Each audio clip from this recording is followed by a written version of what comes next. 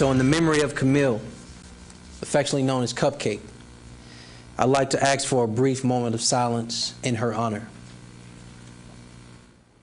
A moment of silence today for Kamille Cupcake McKinney at the Magic City Classic News Conference as the city of Birmingham prepares for one of its biggest events. They pause to remember the life of the three-year-old who lost her life so young. Good evening, I'm Sherry Jackson. I'm Jack Royer. Tonight we have team coverage of the investigation into McKinney's death and how the community is coming together to honor her. We begin with CBS 42 News reporter Michael Clark live at Birmingham Police Headquarters tonight with the latest on the investigation at this hour. Michael.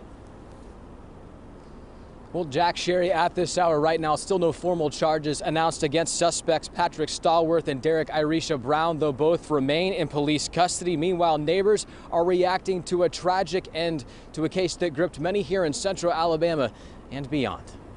After more than a week searching for Kamille Cupcake McKinney, and Birmingham police now know the remains found Tuesday are that of the three-year-old following identification from the coroner Wednesday. Locating the remains were the last pieces of the puzzle that we needed to bring the capital murder charges and the kidnap charges against the individuals, which we will seek warrants for on tomorrow.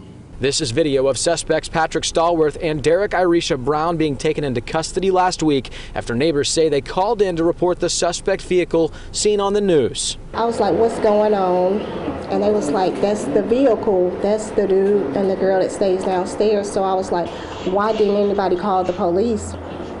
And they was like, they didn't want to be involved. So I took it upon myself to call. Deborah Douglas and her brother recorded video of the arrest. She was heartbroken to learn police found the child's body in a dumpster that had been parked not far from the apartments. It's, it's really sad.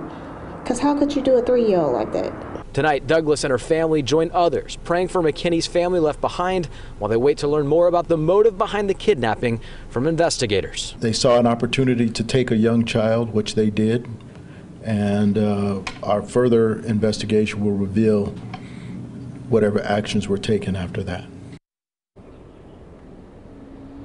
Now, still no update today from Birmingham police. Meanwhile, we've reached out to the Jefferson County District Attorney's Office throughout the day for any updates on charges so far.